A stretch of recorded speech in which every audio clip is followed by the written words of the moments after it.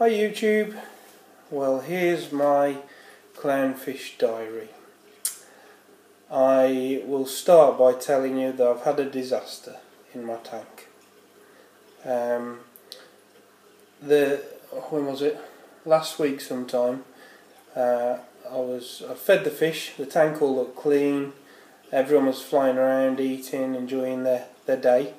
Um, as you've seen, I had the Singapore Angel and the Cherub Angel um, and a clean shrimp and a few other things going on in the tank. Well, when I went to bed that evening, the water was looking really cloudy. Uh, now, sometimes it does, it'll go cloudy and then it'll go clear again, but this time it looked like a thick, heavy cloud. Um, so I was really concerned. So I got my test kit out about 11 o'clock at night, did a test on everything, and it all came back clean. So there wasn't any problems. Uh, clean, you know what I mean? Yeah, clean. It came it came back at 7.8, uh, 0.25, 0.25 and 0. So I thought, well, there's nothing wrong with the water. Maybe it was just having a, a bit of a spike of something or another. So, seeing as I was due to do a water change the next day anyhow, I thought I'd just leave them. Big mistake. Uh, I came down in the morning and my cherub angel was dead and my Singapore angel was dead. I was absolutely gutted. So I took them out the fish tank, still not really knowing why. So I decided to do about a 50% water change. With that, everything started looking lively again and it all seemed to settle down. So I thought that it was just some sort of misdemeanor and, uh, you know, it was one of those things that just happens sometimes, I guess. So I went to work, uh, worried about the tank all day. I know that sounds sad, but I was really worried. And uh, my wife was phoning me during the day, telling me the clownfish are okay and the anemone's starting to look better. And so I was thinking, oh, that's all right. And uh, I phoned Gareth from the local fish shop, who's absolutely brilliant with his knowledge. And I told him what had happened with the tank, and he said it sounds like something's died in there that you don't know about. That's caused the water to, to go toxic. So uh, when I got back home from work, I had a good look round the tank, and attached to the back of my filter, uh, which is on the right, was an anemone that had died, and I didn't realise. So it was all gooey and mushy, and it had all gone into the filter, and it was pumping all this rubbish around my tank. I'll just get the phone, one minute. Sorry about that rude little interruption. Anyway, I'm back with you now. Yeah, so that's what had happened. One of the enemies had died, made the tank a right mess, and uh, that's what cost the lives of my little uh, angelfish. So I cleaned it all out, um, got the obviously the dead and enemy out. I did another 75% water change on the tank. Uh, put the uh, clean the pump out properly because it was in a right state. I plugged it all back in, put it back on, everything was fine. Um, the little clowns uh, were started flying around the tank again, really happy. Uh, the red bubble tip and enemy uh, started looking more lively again, and everything went back to normal in the tank. So uh, it was a terrible loss. I was really gutted. Um, as you know, uh, fellow enthusiasts, when something like that happens, it just spoils your week, doesn't it? So uh, that was terrible.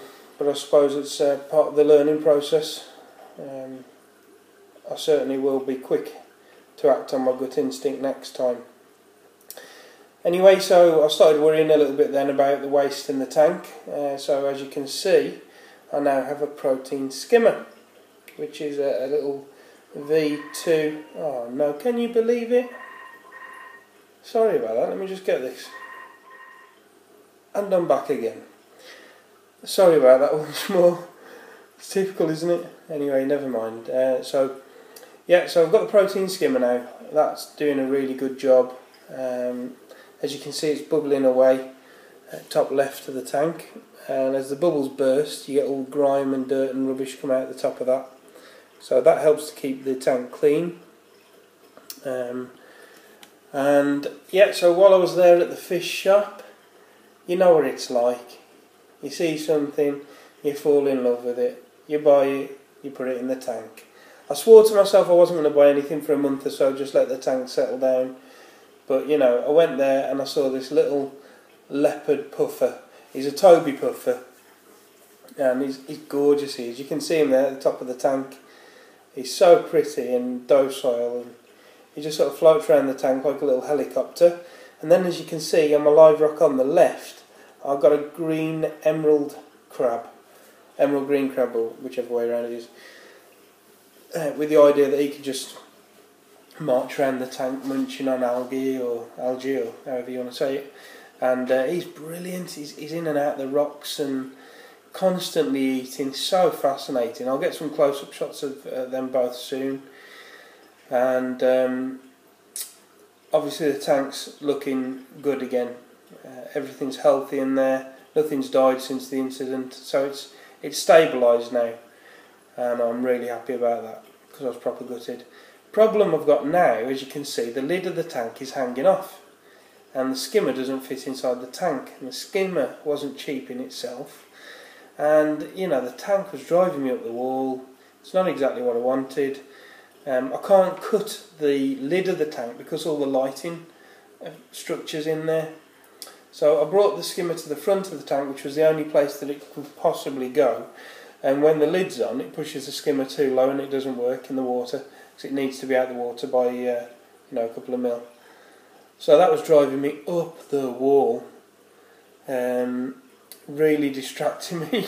I was stressing over it because I want my tank to be right for my fish, as you guys all know. Yeah, you're probably the same as me. Um, so that got me looking for tanks. Then, as I've said before, I wanted a bigger tank, and uh, it just so happened that one came available near me.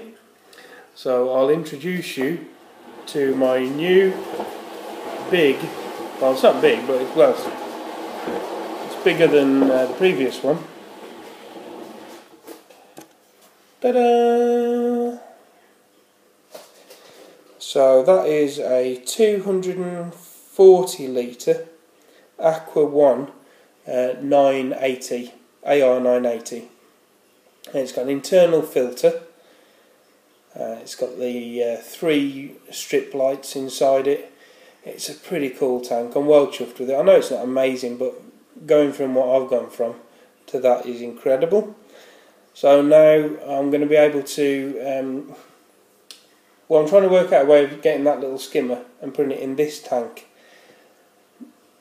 Whether it needs it or not, I'm not sure. The person I bought it off was already running a marine tank, and she didn't use a skimmer at all because it's got like a big three-part um, filter on top of the tank, uh, which apparently does a really good job. Uh, obviously, it's got the heater, it's got um, a wave maker with it, and what else has it got? Like another little pump with it as well. So, but before I do anything with that, I'm going to go and check out the shop, see what they think I need. Obviously, I need a bit more sand, and then my plan is just to transfer my marine uh, directly to this tank. Um, now, obviously, I'm going to need a lot more rock and blah blah blah, all the rest of it.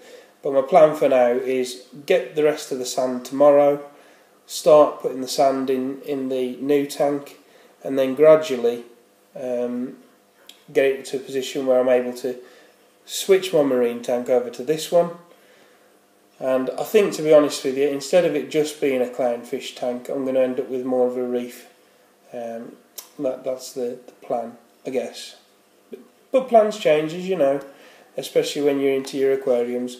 Then my next plan of action is with the little 64 litre tank, um, which is a tropical. I plan to take the fish out of that and take them to the local fish shop who, who says he does credit notes and then clean the tank all out and turn that into a marine tank as well. And I plan on putting one or two fish in there. Uh, primarily, I would love a porcupine puffer, and uh, both of the fish shops near me have got porcupine puffers. Uh, one's got one that's about two inches long. It's mega cute, in a, a kind of weird, ugly kind of way, if that makes sense. but it is cool. I know they make a lot of mess, so I'll probably have to use a similar skimmer to the one I've got there. if obviously my big tank doesn't need the skimmer, that's ideal because I can just use one off the little tank on that one. And because the uh, the lid on that tank's higher, it should be able to take the skimmer no problem. So that's my plan. I have to see how that goes. Um, tomorrow it's Bank Holiday Monday. I don't know whether you get that all around the world or whether it's just something we have in Britain. Um, but yeah, so it means no work or anything tomorrow. But the local fish shop is open. So uh, I might be going there and flexing my credit card, you never know. So I've enjoyed doing the build of the clownfish tank and now it's on to the next chapter really I guess. Um, thanks for watching so far.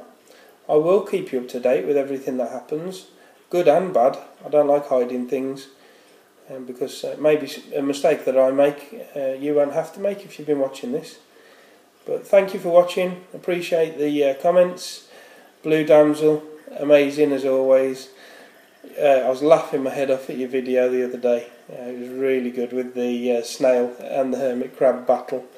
absolutely brilliant. I watched it the day after I, or the day or so after I lost all the stuff in my tank, and uh, I was I was really laughing. Uh, in fact, I watched it a couple of times. So thumbs up to you, Blue Damsel, doing a cracking job. Bye for now, guys.